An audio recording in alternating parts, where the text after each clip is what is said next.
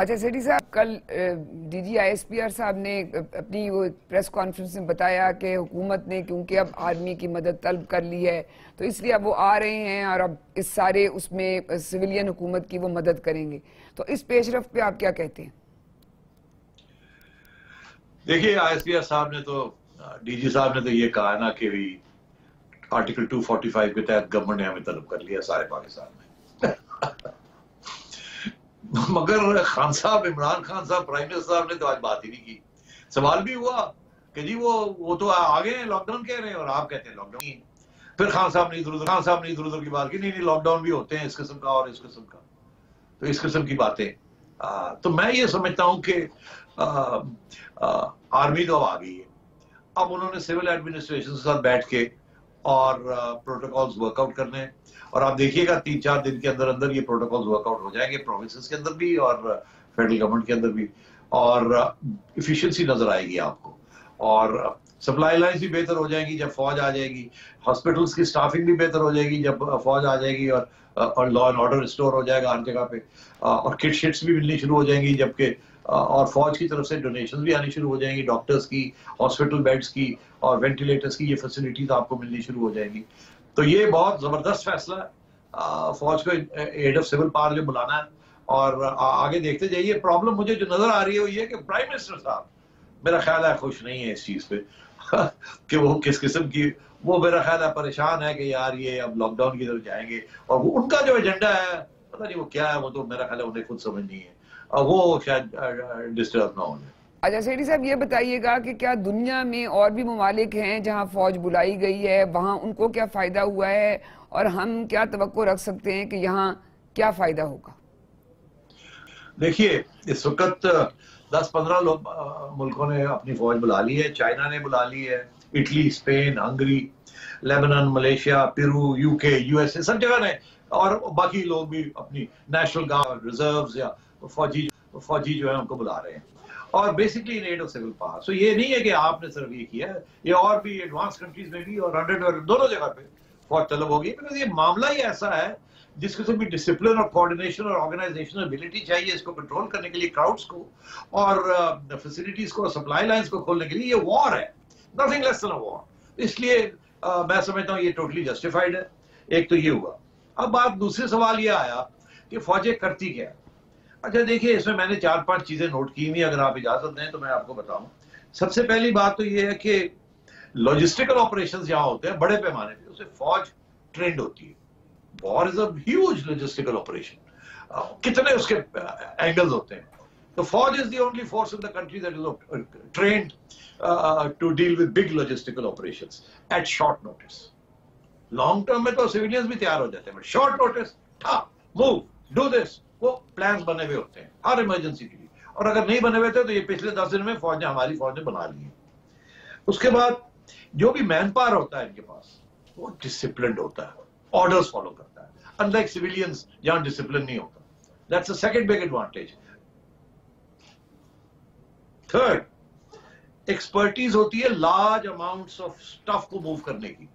اگر آپ نے بہت بڑی بڑی چیزوں کو موو کرنا ہے تو وہ فوج کے پاس ایکسپرٹیز ہوتی ہے، وہ ٹینکس موو کرتے ہیں آرٹلری موو کرتے ہیں، کیا کیا نہیں موو کرتے سویلینز کے پاس شارٹ نوٹس پہ لارج سکیل کرنے کے لیے نہیں ہوتا۔ اسی طریقے کے ساتھ پلانز بنانا۔ فوج تو سارا وقت پلانز بناتی رہتی ہے۔ ان کے تو ڈرائنگ بورڈز کھلے ہوتے ہیں۔ پیس ٹائم میں وار کے پلانز بن رہے ہوتے ہیں۔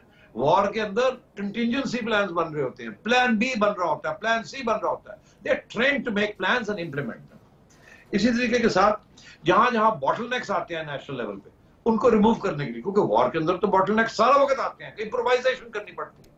The army is well equipped to deal with these things. اسی طریقے کے ساتھ uh, جو میڈیکل فیسلٹیز پرووائڈ کرنا ہے موسٹ ولنربل سیکشنز کو فوج سے زیادہ بہتر کون سا ادارہ ہے جو یہ کر سکتا ہے؟ اور civilian overload of hospitals medical supplies فوج کے پاس بڑی سپلائیز ہوتی ہیں ریزرو کے اندر۔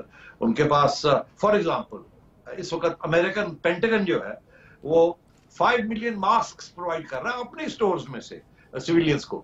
اور دو ہزار وینٹیلیٹر سپلائی کر رہا ہے۔ یہ تو پینٹگن کر رہا ہے آپ کی فوج کے پاس بھی کچھ چیزیں ہوں گی، وہ بھی دینے کے لیے تیار ہوں گے وہ۔ ہاں۔ اسی طریقے کے ساتھ اسرائیلی آرمی کیا کر رہی ہے اس وقت؟ اسرائیلی آرمی ریسرچ کر رہی ہے کہ کاؤنٹر ویکسین بنائے۔ ڈونٹ فرگیٹ بایولوجیکل وارفیئر کی بھی تیاری ہوتی ہے فوج کے اندر۔ اینڈ سو آن میں سمجھ اور یو ایس آرمی جو ہے اس وقت چوبیس ویکسینز کے اوپر کام کر رہی ہے اس وقت. اور military know how chaos bottlenecks deadlock فوج کو پتا ہے کیسے ریزالو کرنا ہے.